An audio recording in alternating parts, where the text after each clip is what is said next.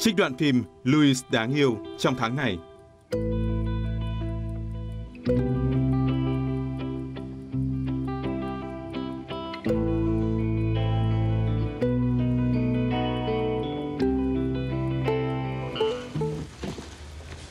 Bà Dubois, bà ký tặng tôi nhé.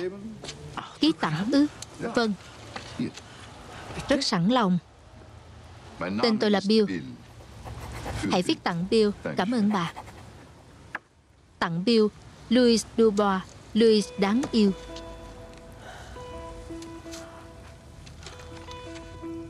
Tạm biệt, Louis đáng yêu. Khắc họa thú vị về một người trưởng thành vẫn nương nhờ mẹ, theo tờ phóng viên Hollywood.